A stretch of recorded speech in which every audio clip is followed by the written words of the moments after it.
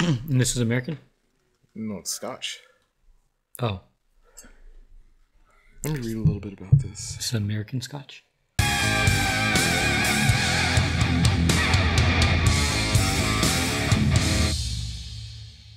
Well, welcome back to Whiskey Wednesday. Today we are going to be drinking Monkey Shoulder, which is a Scottish whiskey. So we're actually going to be we're actually talking about doing Johnnie Walker, but you know what? This our attention, so Yeah. uh, well, we're gonna try this one. Um, so my name is Gio. This is Matt, and take it away. Yeah. So, uh, well, let's just let's just go ahead and pour it and see see what we think. We we've we poured ourselves a little bit of this uh, before when we shot another video, but we didn't really like go in depth with it, Yeah, and we didn't drink it out of these glasses, so you know it might be different. it might be different. Oh, so this is actually the first time I've heard of this Mhm. drink, um, or this brand, Mm-hmm. and also the first time I tasted it earlier, of course, but first time I tasted it. So how'd you hear about it? Um, so I actually heard about it through the Whiskey Vault channel, which is another YouTube channel. Uh, Whiskey Vault, Whiskey Tribe, Crowded Barrel, Daniel and Rex. If you know them, you know them.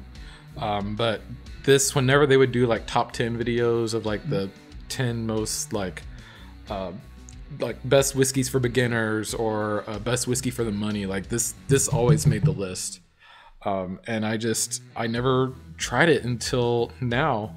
And the reason I bought it is because I was at I went to Spec's to buy some um to to try and buy some Old Tom gin and they didn't have any. But I also had to buy lime juice. So I was like, "Oh, while I'm here, I'll just get lime juice." But I just I felt so weird like just like going up to the cashier at a liquor store with just lime juice. So I was like, "Well, I can either, you know, just leave and go buy the lime juice somewhere else, or I can, you know, be that, you know, freak who went to the liquor store to buy lime juice, or I can actually get a bottle of liquor so that I don't feel so weird. So I, I opted for that option. Number three. yeah, and I, I went ahead and I bought a bottle of liquor so that I wouldn't, you know, be that that guy who goes to the liquor store for lime juice, and it was this, and it was it's one that I had always heard them talk about. I was always kind of curious about it, and um, I realized I didn't really have any like like blended Scotch uh, at home except for Johnnie Walker Black, which is for me just okay. So I was like, you know what? They're always hyping this up. Let's try it, and uh, you know I liked it on our little taste that we had before. But you know now we're actually gonna kind of dive into it and see what we think. Yeah. I mean, it, it's it smells very good. Yeah, it has a really good smell. You get a little bit of smoke, but not a lot, which you find in a lot of scotches.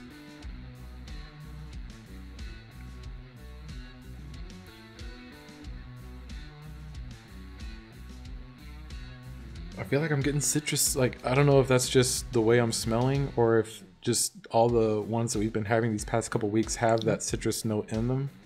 But I feel like I'm getting that again here. I'm getting a very sweet smell. Yeah, I am getting a hint of citrus in it. I feel like on the taste, you got that smoke that you get in a lot of scotches. It's not a lot. There's not a lot of it. Like it's just a little, like a little hint of smoke. Like you know, if you if you're comparing it to like Lagavulin or something like that, then like, but this- yeah, I have no idea what that is, but yep, oh, it's like laga lag, lagavuvu. Lagavulin. It's very it's very smoky. Uh, but if you're comparing it to something or PD, I guess. But if you're comparing it to something like that, um, like there's there's really nothing here as, as far as smoke goes. What was the one that I tried that was like just it tastes like you're drinking smoke? It might have been that one, Lagavulin. Was- Like it, like the little test thing that you had, like those small bottles. hmm Yeah, I have a, a smaller bottle of Lagavulin. Oh, I'm pretty yeah, sure that's, I- that's probably the what I Yeah, I'm pretty sure I had you try that one. It was like just basically drinking smoke. But It might have been that or the Caol Ila. I don't know, one of those. But um, in the future, you may or may not see it. Yeah, it was Um, probably Lagavulin. but uh yeah, this one is it has a very nice flavor. Um very easy to go down. There's not a big Yeah. It's not a I burn mean, or anything. there is a bite, but I mean, it's almost like It well, like it- complements the flavor. yeah.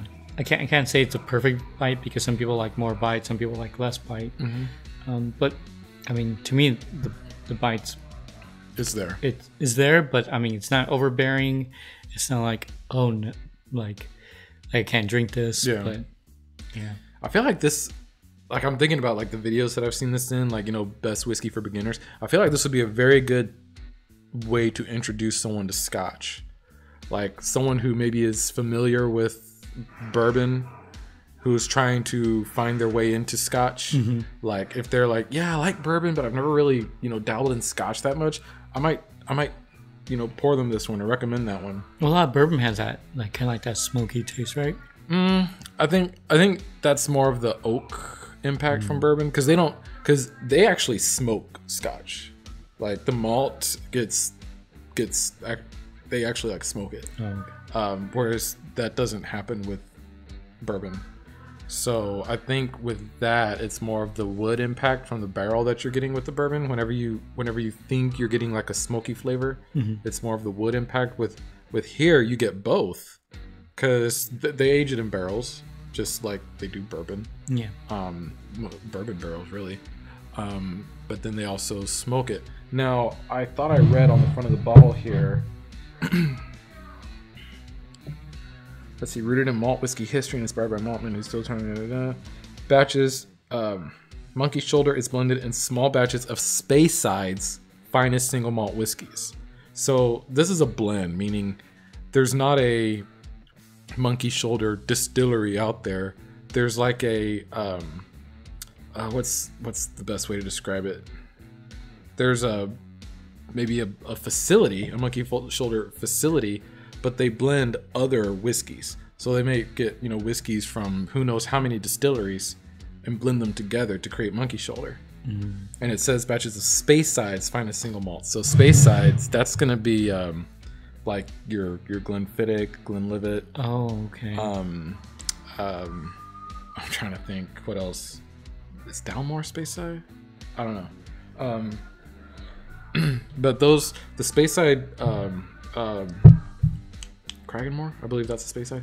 Those are going to be like your um, kind of lighter scotches. hmm Remember when we had our Scotch Week uh, back when we were doing the old format? Yeah. We tried Dewar's, Johnnie Walker, Chivas, and then we tried Glenfiddich and Glenlivet Yeah. and I think we both like the Glenlivet of Yeah. those. Um, so that's a Speyside.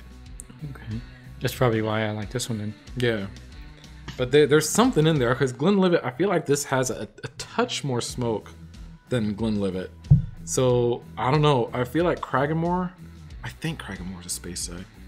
I feel like Cragganmore 12 has a little bit of smoke. So maybe there's a little bit of that in here or something similar to that. Um, but yeah, I mean, it's good. I like it a lot. And it actually has um it's interesting because it actually has a kind of what the taste would be Hmm. and the what you smell, which a lot of bottles don't have that. Yeah, you don't see that a So lot. it basically says for taste, um, mellow vanilla with a s- spicy hints, I get that. and for nose, which is smell, of course, um, zesty orange, vanilla, honey, Mm-hmm. and spice oak. So, see, remember we were saying citrusy? Yeah, There's a so, zesty so orange. there's that. I too. feel like I picked up the oak more on the taste than on the nose, but you know that. Hey, I mean, I smelled the the zesty orange, I guess you would say. Yeah. and- yeah, or I smelt it. but yeah, and I smelled the sweetness. I guess that's the vanilla. Right there. yeah, the sweetness you were talking about. I'll bet you that's Yeah. the vanilla all day long. So is this a, a pricey bottle? No, um, it was like thirty bucks where I bought it. I I'm sure you can get it for even less than that in a lot of places. Um, but yeah, when I bought it, it was about it was like thirty bucks. So it's not it's not that pricey. Um, I think if you go to like Total Wine, it might be like in the mid to high twenties. Okay. But yeah, it's not. This is good. This is this is worth. This is worth every every uh So every penny. it says imported by William Grant and Sons New York, New York. Yeah. So that's probably who distributes it for the states Oh, okay, it's nice. because it is a Scotch, so obviously it's made overseas, but Yeah. you can buy this here in the states. Someone has to import it. Don't be a drunken monkey. Drink responsibly. So yeah, so you know what? If you like sipping drinks, Yeah. I, I would I would recommend this. Definitely. Yeah, I, I haven't tried on the rocks because it's of course our our first time drinking it really. Yeah. Um, so maybe in the future we'll come back to it with. I, I know Scotch you don't really mix with anything, but we'll, we'll try it on the rocks. Yeah, this is definitely one that you can just like pour and sip on. I don't think this is gonna be the whiskey that like that because you know there's some whiskeys that are just so crazy, especially scotches that are just so crazy and complex. Like that's all you want to do. Like you want to just sip it and just like have that be the focus. And this is really good, but I don't think this is that kind of whiskey. I think this is the kind of whiskey that you can Introduces to new whiskeys. Yeah. Introduces to new, I guess, Scottish Scotches. whiskey. Yeah, but I think this is also the kind of whiskey that you could just pour yourself some and, you know, whatever you're doing, if you're, you know, reading a book, watching TV, just hanging out with friends, uh, smoking a cigar, whatever the case may be, I think this is just a whiskey that you can just drink. It's really good. It's really nice. Um, but, you know, it's not going to distract you from, you know, what else is going Yeah. on around you. I mean, this is basically uh, closest to first impression that we've done so Mm-hmm. far. I mean, the other ones we tried, um, Numerous times. yeah. So I mean, we, we already have already not a mindset, but we already have like an idea of what it tastes like before. But this is basically like, Yeah, that was our review and opinion on Monkey Shoulder. And again, guys, these are our opinions. All the reviews that we're doing so far is just our opinions. That doesn't mean anything. That just means that we. That's just what we think of the whiskey. If you have a different opinion, that's perfectly fine. If you like it more and like it like it less, that's perfectly fine as well. You certainly can let us know. Um, Yeah. Saying like, oh, you know what, I like this one better. I like that one better. But Yeah, let us know down in the comments what you think of Monkey Shoulder. Uh, is there a way you mix it that comes out really good? Do you like it on the rocks, neat, with soda, whatever the case may be? Let us know down in the comments, and uh, you know maybe we'll try that out in a future video. Yep. We'll see you next Wednesday on our next whiskey. And bye. Bye.